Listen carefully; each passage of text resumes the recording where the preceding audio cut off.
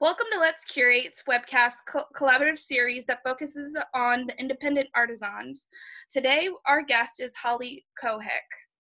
Um, my first question for you is tell us about yourself. How would you describe your art? Well, hello. Thank you for having me on. Uh, my name is Holly, and I'm from Mount Holly Springs in Pennsylvania. And I've been practicing my God given talent ever since I could hold a crayon. And my parents have always been supportive of my interest in arts. So, in a couple years in elementary school, I started taking classes with uh, Nancy Stams. And um, in high school, I ran the National Art Honor Society Club for a while. And then when I attended um, Capital Area School for the Arts, where we met in high school. Um, I had chances to learn about collaborative work, and then it wasn't until my college drawing 101 class that I really have my professor to thank for encouraging me to study graphic design because through my internship class, I became a full time graphic designer. And as far as my art goes, uh, I don't know how I would describe it, but a friend of mine recently said that my work was like a boardwalk airbrush meets classical oil painting. Ooh. So I'd like to think that my art evolves. Um, I play with different mediums and explore new hobbies outside of painting, which I think helps improve my art. And there's always room for improvement, but lately I've been doing a lot of digital art. Cool. Um, wh- what would you describe as your biggest accomplishment?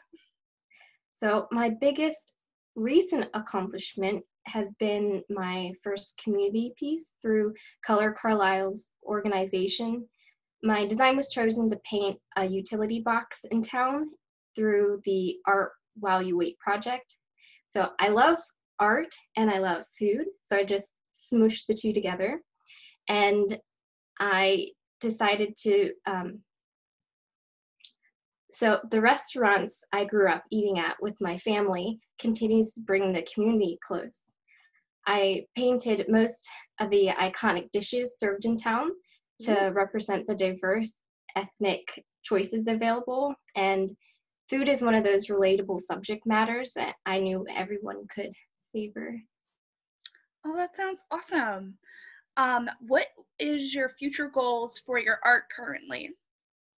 So my future goals for my art is ultimately to spread joy to others. Uh, as I'd like my I'd like my creations to stir emotions for viewers. If anything, I hope my work sparks inspiration or gives comfort. Uh, art will art is where I excel, and that's my ability that I can use to help others.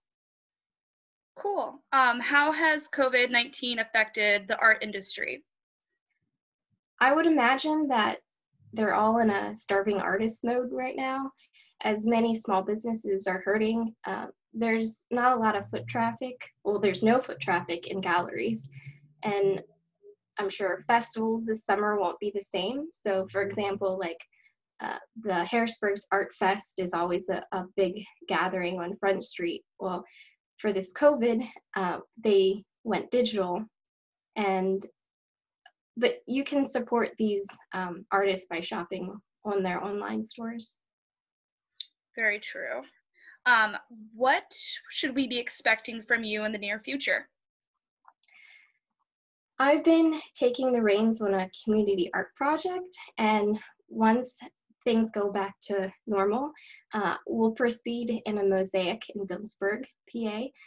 So I'd, I'm also in the rough stages of a mural for a web agency in Harrisburg as they want their walls to pop more. Oh, cool. Um, and lastly, any final words to any upcoming artists?